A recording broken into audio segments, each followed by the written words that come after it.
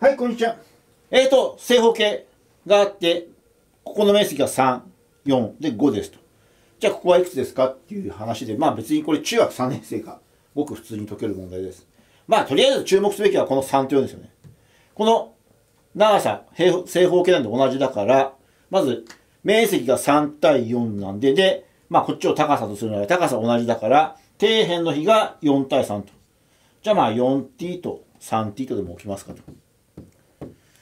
で、まあじゃあ、正方形の一辺の長さ、x とでもすれば、面積に関して2つ式できますよねと。これと、これとこれかけてここ。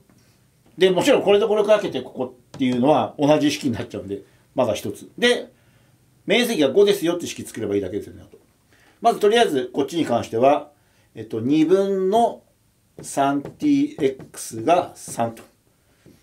えっと、3tx が6だから、xt が2。まあもちろんこっちだっても、こっちの方が早いですね。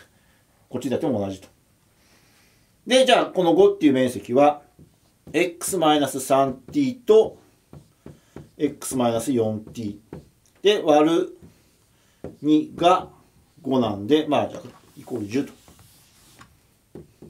で、xt が分かってるんで、これ展開して整理すると、x2 乗、えっと、マイナス 7xt プラス 12t2 乗が10。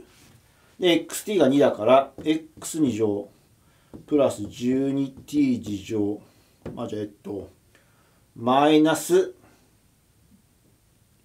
14と10だから、マイナス24が0と。で、えっと、t イコール、えっと、x 分の2なんで、代入する。x イコールのが楽かな。まあ、どっちでもいいや。x2 乗足す 12t 乗だから x2 乗分の4かける12なんで、x2 乗分の48マイナス24が0と。今、x2 乗が知りたいですよね。x2 乗っていうのはこの正方形の面積なんで。x2 乗さえ分かればいいっていう、これもう単なる。X2 乗を未知数とすれば、単なる二次方程式ですよね。じゃあ、x2 乗を、まあ、ラージ x ともすると、えっと、両辺に x2 乗、ラージ x かけて、x2 乗マイナス 24x プラス48が0と。そしたらこれは、えっと、ラージ X は12プラスマイナスルート144マイナス48と。なんで96。で、これは、えっ、と、12プラスマイナス96は、えっ、と、4では16で割れる。16×6。6636。だから、えっ、と、4ルート6。で、12-4ルート6だと、これ面積ちっちゃすぎですよね。少なくとも12はあるんで。なんで、マイナスの方はなしと。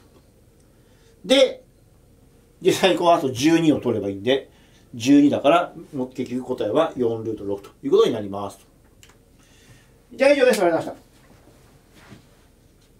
た。えおかげさまで、本第1弾、第2弾、第3弾、すべて10版出題ありがとうございます。